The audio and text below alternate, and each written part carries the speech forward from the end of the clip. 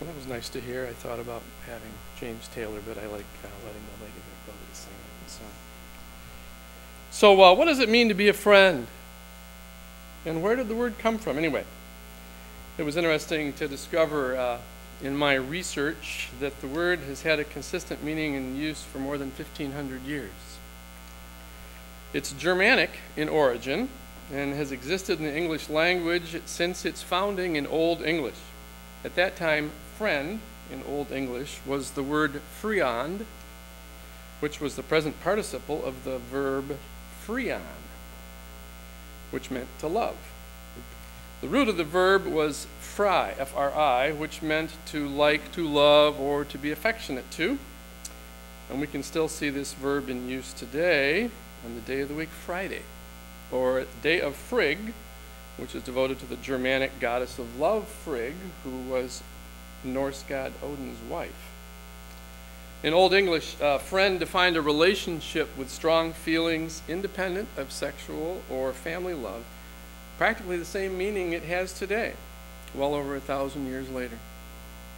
It's, uh, it's interesting to note that friend is also seen as the antonym or opposite of enemy. And because one was either an enemy or a friend, it was during that time that the word friend also came to define loyalty. But enough of the etymology. This is supposed to be a sermon, not a lecture. I'm going to talk about friends today. I've attended this church my entire life, and, and many of you in the congregation today are my friends, and quite a few of us have known each other for many, many years. In fact, uh, in some ways, practically our entire lives. So I'd like you to think of this as a conversation with a friend. And, you know, you can listen, you can react, you can nod. If you disagree, talk to me later. Um, so, I, how many of us are still learning how to listen? Oh, yeah, show of hands. I know my son did that earlier when I was practicing last night. So, learning how to be a friend. Sometimes it's not easy to show interest in others instead of talking about ourselves. I know I'm certainly guilty of that. Getting people to talk about themselves makes you seem that much more interesting and engaging. And then all you have to do is listen. Maybe the next time you run into someone, instead of, How are you? ask, What's new? and then wait for the answer. C.S. Lewis said about friendship a friendship is born at that moment when one person says to another, What? You too? I thought I was the only one. How many of you have had that kind of an experience? I know I've had that. When I was growing up back in the 1950s, the first friends I remember were family, brothers, and my cousins. And I don't really think that's changed much over the years. As we grew, our friendships came from neighbors, church, and school. We sat next to our friends if the teacher would let us, and we learned together and discovered things we liked and didn't like. We discovered that people were like us and some were different. If they liked the same things we did, we sort of hung out together. If they were different, we were either curious about them or we ignored them completely. And that hasn't changed much either, has it? Especially with kids. As the years passed, our world started to expand. We learned about different cultures and races, and maybe our friendships grew in different ways, but usually not. Most of us were insulated, with friends developed from our own little part of the world. Where did the friends from your childhood come from? Many times it was from a team you were a part of. Maybe it was a sport. Many kids develop their friendships through sports, um, but I didn't. I grew up in the country, and organized youth activities were few and far between. But I was a Boy Scout, and the shared experiences of camping and hiking and other outdoor activities created a strong bond. One of my best friends through school was in Boy Scouts with me, and we reconnected a couple of years ago. And the first words out of his mouth were, Do you remember when we used to sing those duets at campfires together? I certainly did. I was the guy that sang the harmony, and I still can. And I've spoken of it many times over the years. The two songs that we sang were Yankee Doodle Dandy and You're a Grand Old Flag. Now, in college, we all came of age with roommates. I'll bet many of you still have friendships that were developed in the dorms at college. As I've mentioned these various phases in my life, you probably have also thought of similar times in your own life, remembering all of those who have touched your life and all the friendships that have made you the person you are today. All along, as we grew up, we would make friends. We would also end friendships. Maybe someone treated you unfairly, or maybe you were the cause. You might have been what would be considered popular what made you popular? Did that mean you had lots of friends? Do you still have those friends? Then suddenly we're adults, out of college, making our way in the world, perhaps staying in contact with our friends, but often feeling like we're starting all over again. Fellow workers become our friends, and suddenly we realize the fragility of those friendships if we lose our job or get laid off or get transferred. So, what is it that creates friends, especially as adults? There needs to be a connection, something you both love.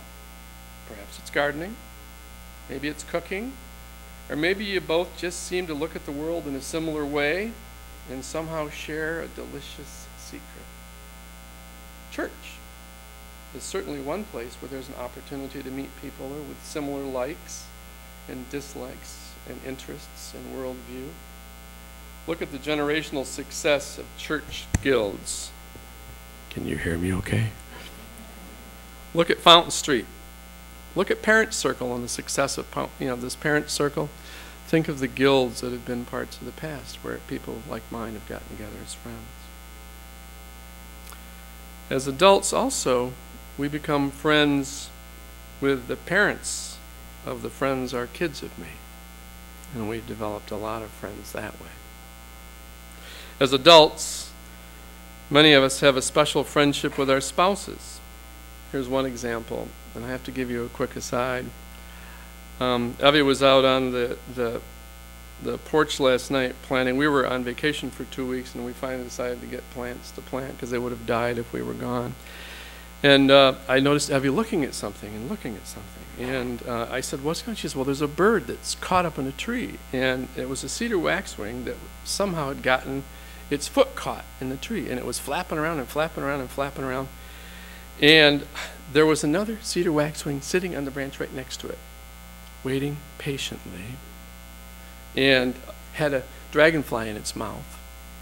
And I got the binoculars out and I looked and was, I waited and and, and then the cedar waxwing waited and waited and then finally ate the dragonfly itself. So, and I'm sorry to say that the morning, this morning the bird is still up there, so I don't know, it's far too, away, too far away for us to reach or to help. But um, I love birds, and I always have.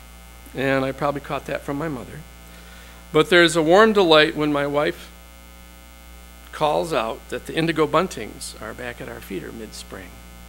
And uh, they only come through, uh, working their way north and stop at our home for just a day or two. But that's part of our friendship, I think. We share that. We're also fortunate to have a group of friends tied together by our common sons, families with boys. Um, it's very different if you have a boy and girl or if you have all girls. If it's boys, we sort of feel sorry for the moms sometimes. But we gather up in the woods, we go camping, um, the boys still disappear off into the bogs and swamps and return mud-caked, bug-bitten, and exhilarated. For me personally, Boy Scouts has been a great place to develop friendships. Men, adult men, have a hard time developing true friendships, it seems. Guys seem caught up in some type of macho competition, sort of the, excuse expression, how high can you pee on the wall thing. Um, and you know who can outlie, who can out earn, who can accumulate the most toys, who's one upping the other over and over and over. And I don't seem to subscribe to that much. But Scouts is different. It's a great place for guys to be guys, and there isn't the underlying competitive pressure. I guess maybe it's because we're there for something other than ourselves. We're doing it for our sons, and it's fun. While I have a lot of appreciation and great respect for coaches, and I've coached myself, all too often coaches of sports activities are trying to relive something from their earlier years. And it's difficult to develop true friendships in face of all that competition. Sorry about the light, I'll fix that later. In scouting, we're helping our sons find themselves and develop skills they'll use the rest of their lives, even if they don't realize it at the time. So, the parents, and especially the men, stick around as adult leaders because, and they've become some of the best friends of my adulthood. Now, perhaps we're fortunate that we live in Cascade, and the adults involved are most often professionals. But uh, through the training and the hours of shared experience, sitting in our adult circle away from the boys, we become a band of brothers, good naturedly jibing, cajoling, ribbing each other, and the laughter comes easily and often. And the boys pick up on that respect and affection that we have for each other.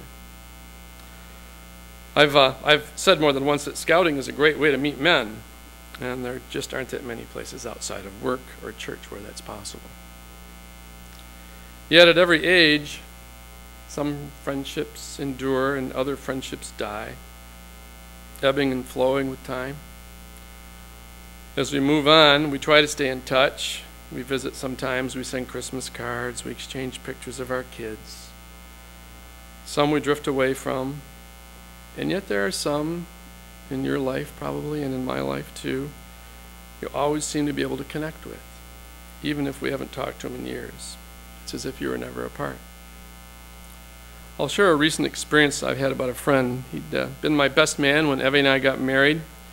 We'd met when we were in high school, working at our first jobs as dishwashers at a nursing home. We were both on the debate team. We both liked to sing. We both enjoyed the poetry of E. E. Cummings and Robert Frost, which is a nice dichotomy that can't imagine someone else would actually like that.